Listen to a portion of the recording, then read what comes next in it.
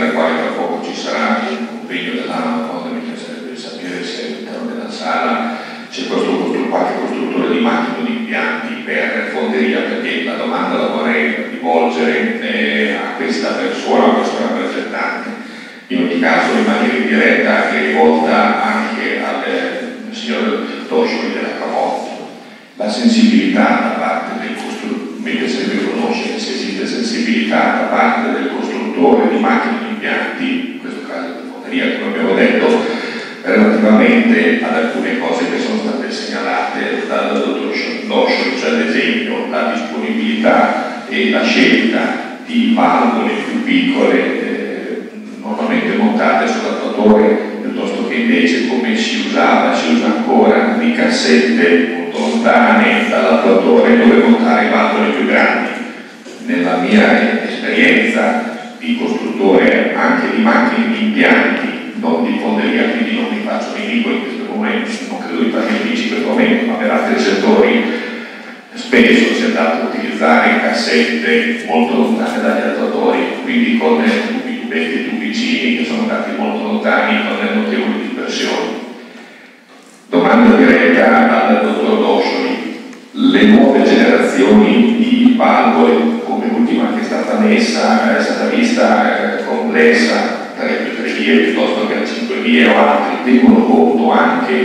come pure quelli che volevo montare sugli attuatori, di ambienti particolarmente difficili, come ad esempio sono tipici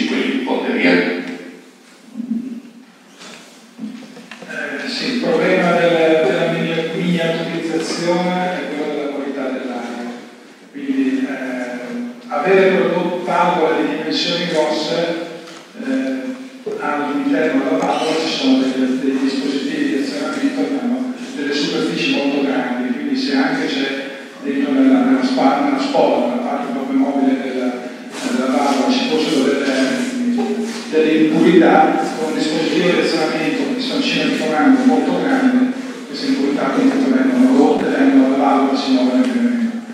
Eh, ovviamente se vogliamo avere delle caratteristiche di un certo tipo dobbiamo prepararci a dare l'aria, in questo caso, eh, trattata in un certo modo. Quindi sicuramente le valvole sono valvole che non hanno problemi di funzionamento, però l'aria deve essere a posto. Sicuramente fastidio è l'olio all'interno dell'aria, non è tanto, adesso mi passi il termine, ma è sicuramente la contaminazione che può dare eh, appunto la macchina che genera l'aria compressa eh, che non è diciamo, gradita dal componente pneumatico, quindi di valvola piuttosto che cilindro, eccetera, eccetera. Quindi di sicuro eh, togliere l'olio. Quando abbiamo tolto l'olio,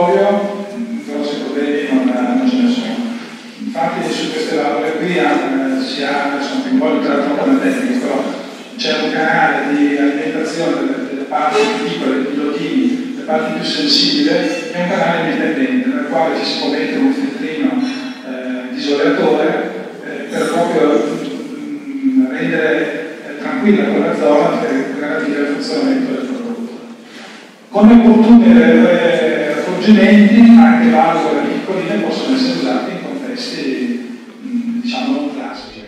E volevo chiedere con loro un commento sulla scheda tecnica, la scheda tecnica per la presentazione dei progetti di titoli di efficienza energetica eh, appunto sull'area complessa. Queste schede qui arrivano da una serie di dati di tipo tecnico-scientifico eh, che però credo che siano stati criticati anche a livello accademico proprio dalla, dalla professoressa, per cui se magari ci vuole dire qualche cosa in merito a come è stata costruita questa scheda tecnica che chiaramente ha vantaggio della semplificazione da un lato però dall'altro non riesce a, a, diciamo, ad ottenere i, i, risultati che si dovrebbero ottenere.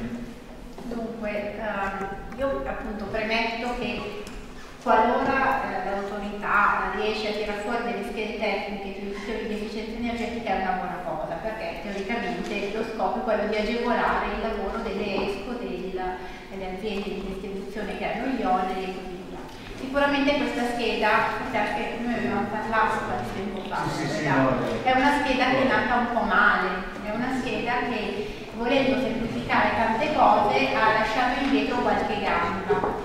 nella fattispecie, io chiudo qui, forse bisognerebbe che poi eh, commenti più puntuali possano essere fatti dalle aziende, eh, diciamo dalle ESCO che invece hanno prodotto questi progetti. In generale, come diceva eh, l'ingegner Bartucci,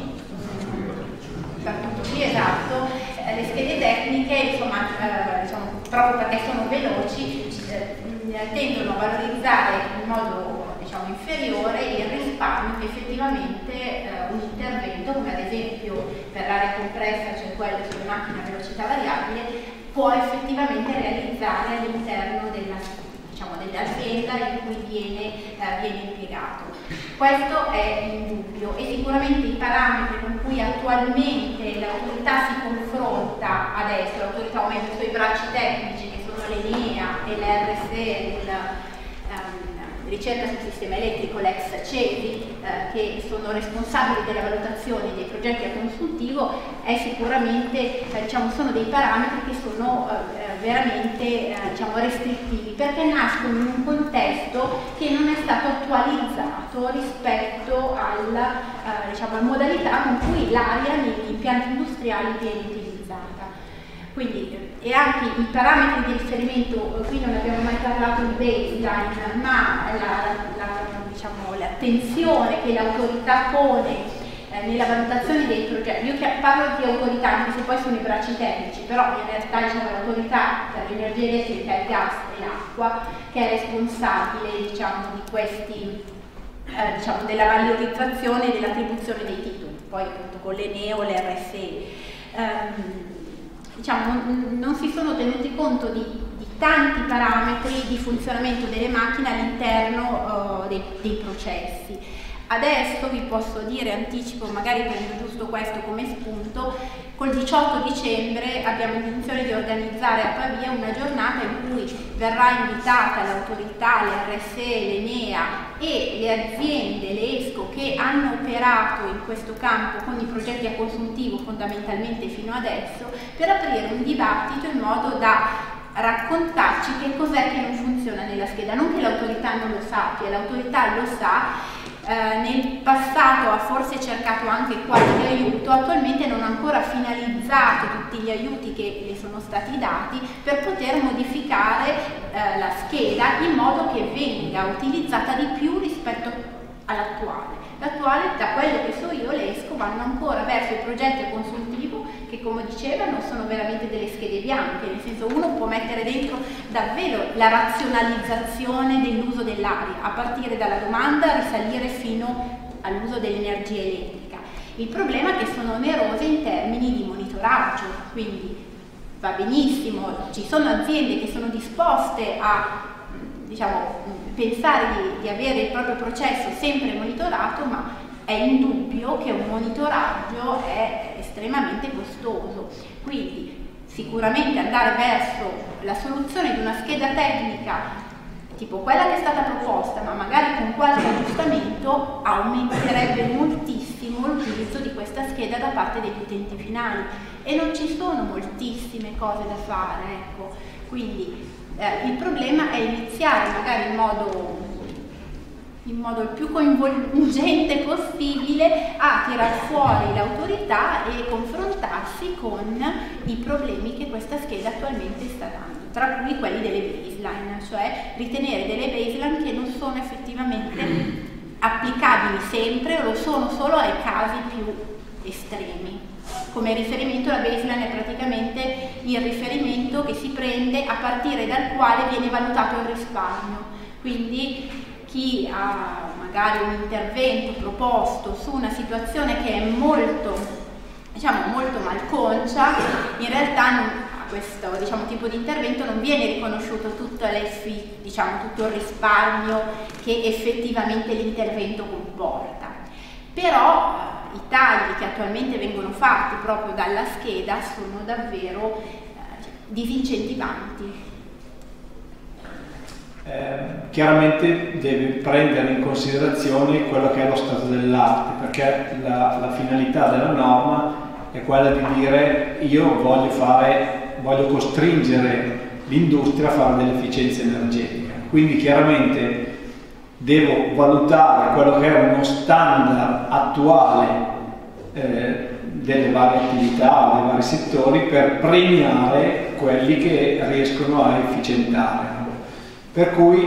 mh, al di là di quelli che sono i numeri e i dati specifici relativi a un singolo intervento, quindi di miglioramento e di razionalizzazione, bisogna comunque prendere in considerazione quello che è uno standard medio rispetto a quell'attività lì, cioè io non posso pensare di girare con la balilla e volere dei, dei, dei premi perché oggi compro una macchina nuova ma il risparmio della mia macchina nuova viene valutato rispetto a quello che è un benchmark oggi di, di, di standard diciamo, di efficienza delle autovetture medie.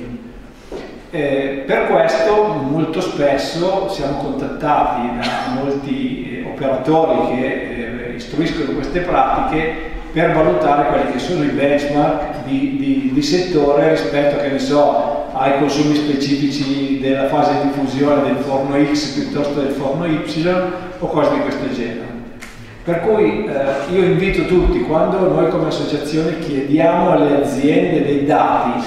li chiediamo anche in relazione a un'utilità e una ricaduta che può avere tutto il settore e le singole imprese in queste situazioni, per cui se non esiste il benchmark legato al consumo specifico di aria compressa per unità di prodotto, diciamo nel settore della fonderia, è chiaro che noi chiediamo informazioni ai nostri associati per avere una situazione che ci consente di dire ok, questo è lo stato dell'arte rispetto al quale poi dopo possono essere valutati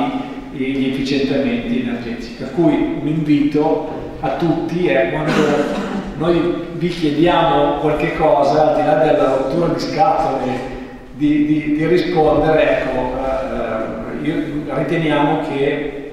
tutti noi possiamo avere una ricaduta positiva nel contribuire a costruire questi dati che poi eh, ci, ci, ritornano in termini di, eh, in questo caso, di percentuali di razionalizzazione e quindi eh, possono essere monetizzati. Nell'intervento prima avevo mostrato la nostra sala compressori formata da un compressore 130 kW aperto e poi il professore Gelifissi. Stiamo studiando adesso, dobbiamo rinnovare, pensiamo di rinnovare tutto il parco compressori e cerchiamo una migliore soluzione. Eh, sicuramente metteremo un compressore geovariabile ovviamente.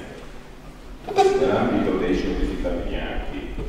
eh, sostituire una macchina geovariabile avendo già una macchina geovariabile, il fatto di averla anticipato i tempi della quella inserita, siamo penalizzati o no? Cioè, chi, vuole rispondere? Forse non c'è notte probabilmente. Cioè, eh, il microfono cioè, nel senso che andando a un progetto consultivo se partiamo già da un buon riferimento la differenza, il vantaggio in più, l'efficienza in più come faccio a dimostrarlo o ottenerlo o compro due vecchi compressori da allontanare le calorie per far vedere che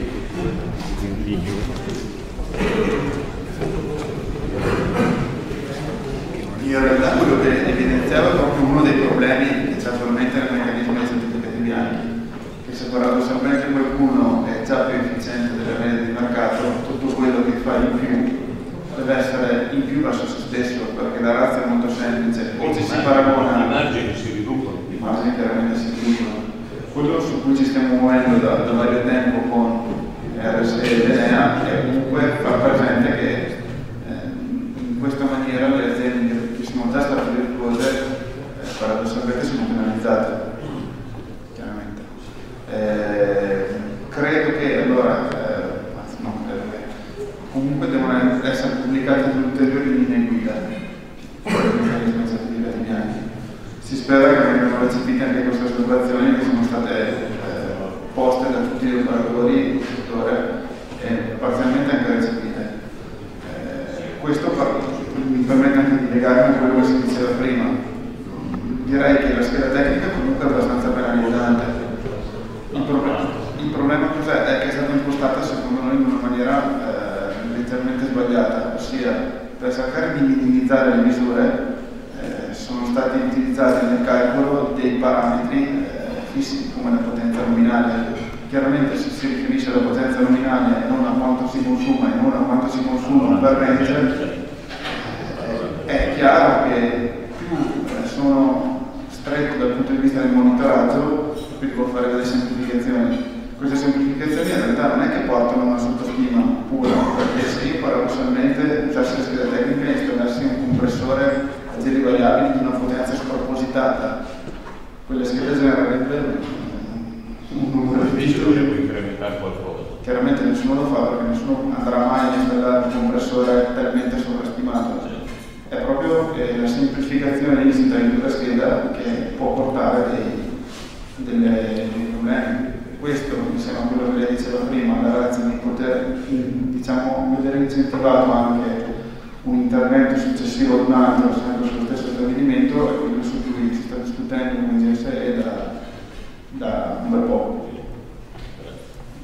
Grazie, buongiorno a tutti, mi, mi presento, mi chiamo Graziano Del Dio e sono il direttore commerciale di Ingerso e ringrazio tutti per le loro esposizioni esaustive e volevo soffermarmi un attimino sul punto eh, e la prospettiva da parte del costruttore. Eh, l'ingegner Ferrari, che fa parte del nostro team di valutazione eh, energetica degli impianti, è stato in questi anni, direi dieci anni, uno dei più grandi collaboratori di tutte le ESCO, eh, quasi tutte, che hanno fatto e eseguito dei progetti efficienziali non solo con, con le nostre macchine. E con, abbiamo condiviso con lui e con i nostri clienti quello che è dal punto di vista del costruttore una cultura che era quella fino a pochi anni fa di eh, del, diciamo, del ferro con un motore elettrico che pompava dell'aria dentro i tubi e l'abbiamo trasformato in una filosofia di soluzioni filosofia di soluzioni partendo chiaramente dalla, dalla qualità del prodotto, e mi ricollego a quanto diceva l'interlocutore prima, che mh, anni fa ha scelto una tecnologia innovativa di 15 anni fa che, o di 20 anni fa, che era una macchina bistadio altamente efficiente, però a, chiaramente a pieno carico. Abbiamo aggiunto negli anni tecnologia con inverter, con motore a magneti ibridi permanenti che non ha in nessuna condizione di basso utilizzo la marcia a vuoto per ottimizzare e chiudere ancora gli spazi all'interno di quella che era un'area di, eh, diciamo così, di inefficienza e di miglioramento. Il costruttore, in questo caso noi, l'Ingersoll Rend, ha la visione di sedersi, come si dice, sto di fianco a voi, a voi tutti, quindi mi prendo anche un impegno diciamo, a supportare, a fare la consulenza sia all'ESCO che chiaramente a Pioggia, a tutti gli associati, per poter trovare con voi la soluzione. Però la soluzione va trovata, va cercata, va verificata, va costruita su un'analisi ponderata, realistica di quella che è la situazione in campo. Quindi noi insieme a voi siamo in grado di fotografare e di costruire su questa fotografia lo scenario del risparmio energetico delle vostre aziende. Volevo dire questo. Grazie. Grazie, grazie. Visto che abbiamo raggiunto l'ora in quale ci aspetta il buffet, molto sinteticamente per concludere vorrei dire che oggi abbiamo capito che l'aria non costa nulla ma l'aria compressa è molto cara e per riallacciarmi a quello che avevo detto all'inizio, in questo campo risparmiare e razionalizzare si può e si deve. Grazie a tutti e alla prossima.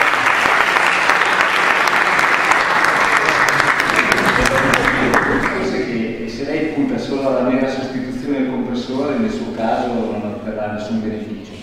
Nel suo caso invece però sta rifacendo completamente il sistema di distribuzione, magari spostando dei compressori, allora io mi muoverei in maniera diversa andando a indicare che lei fa un intervento di efficienza completo, non mirando solo il compressore. Sì, però siccome la macchina principale è già efficiente rispetto a... Ingegnere, scusi, il microfono perché Sì, sì. per la registrazione. Ah, scusate. È vero, però siccome la macchina principale in termini energetici di di potenza è già efficiente, perché è una macchina a giri variabili, mi si riducono sempre di più i margini.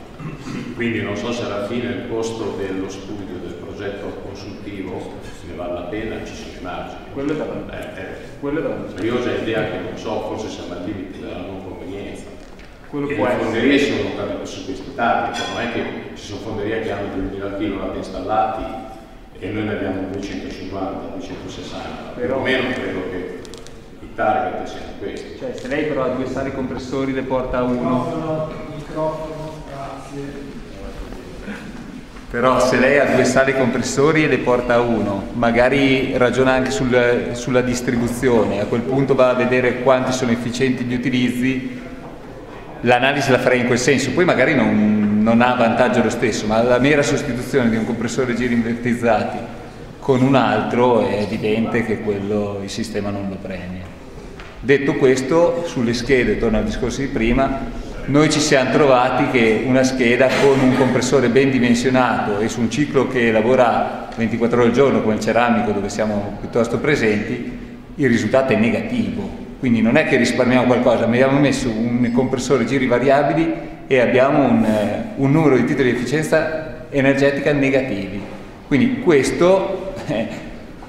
va a dimostrare che la scheda è, è assolutamente inutilizzabile se non in casi particolari, ma a quel punto cioè, uno deve fare un progetto a consuntivo per dimostrare che la scheda non è utilizzabile. Eh, siamo al limite.